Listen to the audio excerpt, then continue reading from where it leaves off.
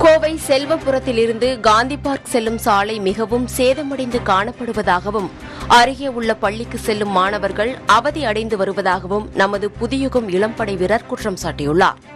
சேதமடைந்துள்ள சாலையால் வாகன ஓட்டிகள் அவதி அடைந்து வருவதாக தெரிவிக்கும் இளம்படை வீரர் பவ்யா சாலைகளை விரைந்து சீரமைத்து தர வேண்டுமென சம்பந்தப்பட்ட அதிகாரிகளுக்கு வேண்டுகோள் விடுத்துள்ளார். என் பேர் பவ்யா. நான் இளம்படையிலிருந்து பேசுறேன்.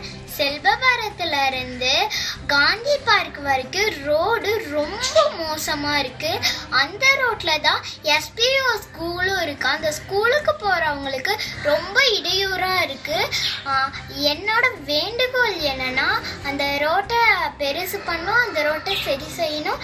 இளம்படையிலேருந்து பவ்யா.